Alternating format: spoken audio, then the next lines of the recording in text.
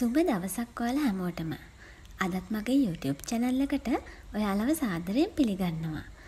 ඔන්න අදත් මං අරන් ආවේ ඔයාලට ගොඩක් වැදගත් වෙන ඔයාලා මගෙන් ගොඩ දෙනෙක් අහපු ප්‍රශ්නයකට පිළිතුරක් අරගෙන. ගොඩක් දෙනෙක් මගෙන් අහපු ප්‍රශ්නයක් තමයි පාඩම් කරන හොඳ වෙලාවක් කියන්නො කියලා.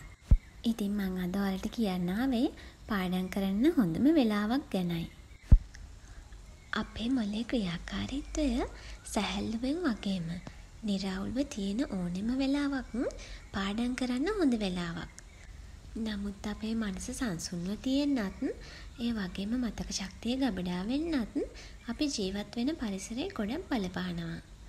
අපේ පරිසරය සුන්දර, නිශ්ශබ්ද, නිදහස් වෙන තරමට අපේ මනස සහ මොලේ ක්‍රියාකාරීත්වය හොඳින් ක්‍රියා කරනවා.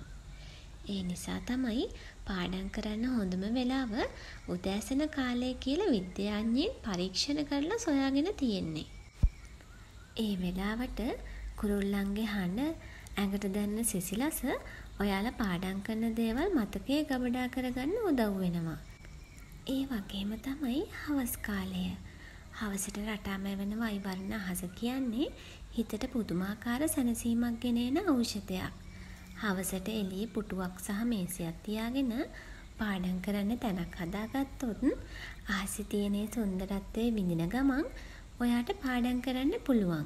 ඒ සුන්දරත්වය ඔයාගේ මනස සැහැල්ලු කරලා ඔයාගේ මොළයේ ක්‍රියාකාරීත්වය වැඩි කරනවා. ඉතින් ගේ ඇතුළටම වෙලා පාඩම් කරන්න උත්සාහ කරන්නේ නැතුව ජනේලයක් ළඟින් ඉඳන් හරි එහෙම නැත්නම් මිදුලේ තැනක හරි පාඩම් කරන තැනක් හදාගෙන අහසේ සුන්දරත්වය විඳින ගමන් ඔයාගේ මතක ශක්තිය කොච්චර ශක්තිමත් වෙනවද කියලා ඔයාම අත්හදලා බලන්න. මේ වීඩියෝ එකේ මුලින් ඉඳන්ම තියෙන්නේ දවස් කිහිපයක් මගේ ගෙදරට පෙනුණු අහසේ රූ රට. ඉතින් ඔයා try කරලා බලලා ඔයාලගේ අදහස් කමෙන්ට් කරන්න. ඒක තව කෙනෙක්ට මොටිවේට් වෙන්න ගොඩක් උදව් වෙයි. එහෙනම් ඔයාලට සුබ දවසක්.